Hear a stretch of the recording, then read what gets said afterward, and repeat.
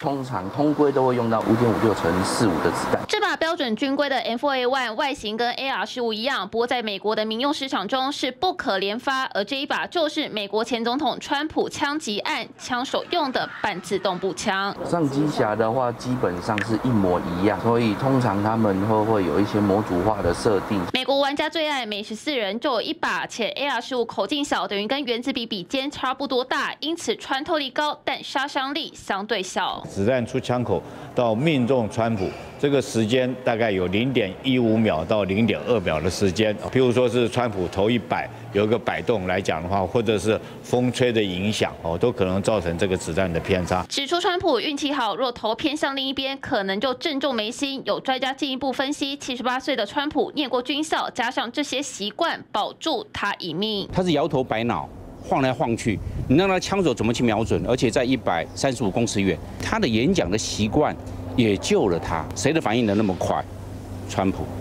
因为他受过军事教育，川普所幸又有擦伤，而杀手的特性，国安会前副秘书长杨永明认为，从开枪后并未离开现场，甚至造成现场川粉伤亡，研判是孤狼式未遂刺杀。但政治对立激化下的意外事件，台湾也有类似状况，像是今年七月有驾驶驾车冲撞总统府，学者呼吁朝野应该降低对立。赖清德现在给人家感觉就是他是赖主席，而不是赖总统。所以赖主席的意思呢，就是他只顾绿的，不顾蓝的，最。好的方法当然是由上而下。怎么避免朝野对立，以至于对支持者煽风点火？或许就像学者说的，该从国家元首开始做起。TVB 宋东军连宣台北场报道。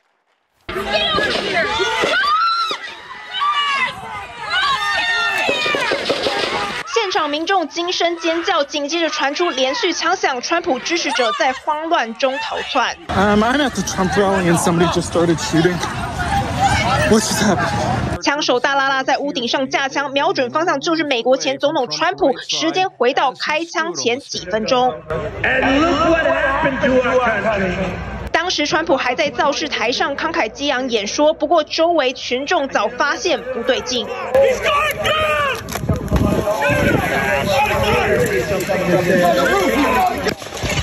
晚间六点零四分，川普站上讲台七分钟后，有人朝看台开枪，三秒后狙击手立刻击毙嫌犯。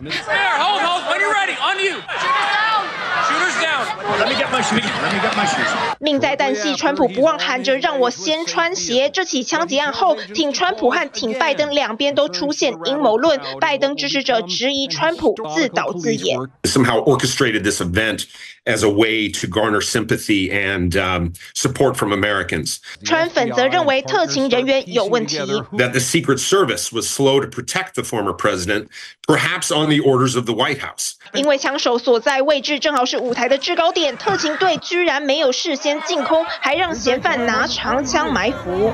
Where you're walking around and you have that earpiece in and you hear somebody has been sighted, some suspicious activity. We don't know what was coming through this earpiece. 目前 FBI 初步认定嫌犯是孤狼犯案，属于潜在国内恐怖行动，定调为暗杀未遂。不过嫌犯目前没有策划其他攻击，这次暗杀动机正在深入调查。TVB 新闻报道。川普遇刺当下高举右手握拳，嘴里喊着战斗。这张照片成为历史画面，隔天立刻登上《时代》杂志封面。拍下这张照片的美联社资深摄影师接受 C N 访问，说他能够捕捉到这个重大时刻，全靠直觉反应。I heard, you know, pops, and I I knew immediately what it was, and then I just kind of went into. work mode。还有一名在现场的华盛顿观察家报女记者，原本要在肇事后与川普进行专访，没想到川普遭枪击后主动打给他，使他成为第一位访到川普的人。When you watch him at a, a rally, he always looks forward.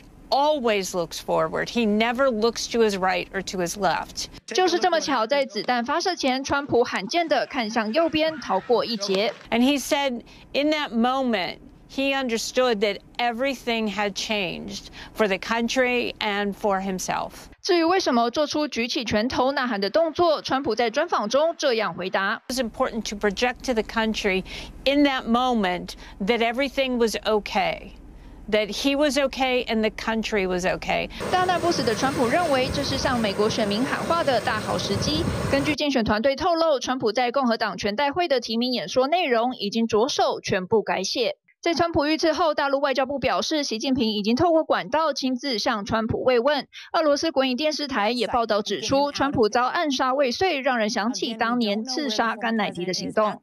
TVB 新闻综合报道。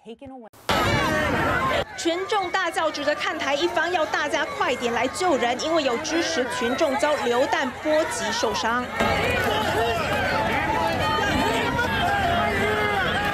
川普造势遇上暗杀，唯一不幸的罹难者就是他在台下参加造势的五十岁消防队员康佩拉托尔。I just wish it didn't happen. I just can't believe it happened. Truly a good, God-fearing, hard-working man. Loved his family. 同事语带哽咽，不敢置信。据传当时康佩拉托尔和妻子、女儿出席活动，混乱下他扑倒家人，结果子弹刚好打到他的后脑勺。We also extend our deepest condolences to the family of the victims who was killed. Corey was a husband, a father, a volunteer firefighter, a hero, sheltering his family from those bullets. 美国总统拜登也赞赏他是一位英雄，不过亲友不敢相信参加造势居然会遇上死劫。Uh, major loss. I'm, like I've stated, uh, he's a man that give the shirt off his back to anyone. I mean, um, in his last moments, he was shielding his family from the gunfire.